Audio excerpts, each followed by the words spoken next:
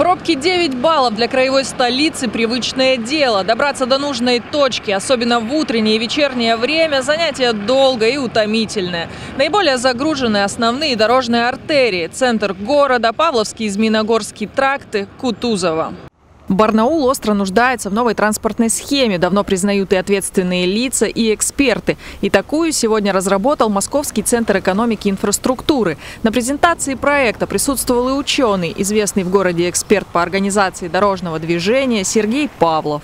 У нас все говорят, что необходимо э, борьба, э, бороться с заторами, с пробками и так далее. Но это не та задача, которую необходимо решать, потому что мы заторы никогда не победим, э, скажем так, с помощью увеличения улично-дорожной сети, либо это необходимо какие-то очень гигантские суммы на это выделять. Основная задача – уменьшение времени на передвижение. Удивительно, но особых планов по увеличению пропускной способности в центре города нет. Эксперт говорит, расширять количество полос и строить сложные транспортные развязки со сложившейся застройкой слишком затратно и пока финансово неподъемно. Поэтому эффективнее заняться улучшением работы общественного транспорта.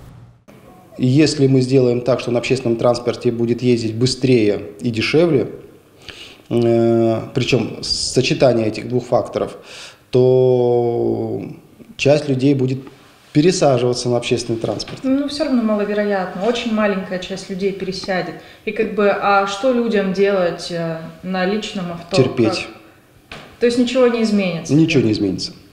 Разработчики проекта предложили городу несколько вариантов развития организации транспортного движения, но в основе каждого общественный транспорт. Но чем затратнее предложение, тем кардинальнее будут изменения. С общественным транспортом в городе пока не все так гладко. Тариф повышается, а вот качество перевозки упорно остается прежним. Справедливости ради заметим, что определенные сподвижки есть. Так мэрия обещала закупить 18 новых больших автобусов. Такого не было несколько десятилетий. На некоторых дорожных участках уже существуют выделенные полосы, и по словам специалистов, они тоже доказали свою необходимость. Одна из самых ожидаемых пассажирами и перевозчиками мер – переход на брутоконтракты, то есть создание системы муниципальных перевозок. Правда, специалисты пока скептически оценивают вероятность их введения. В любом случае, решить давно назревшие проблемы можно только при внедрении целого комплекса разных сложных мероприятий.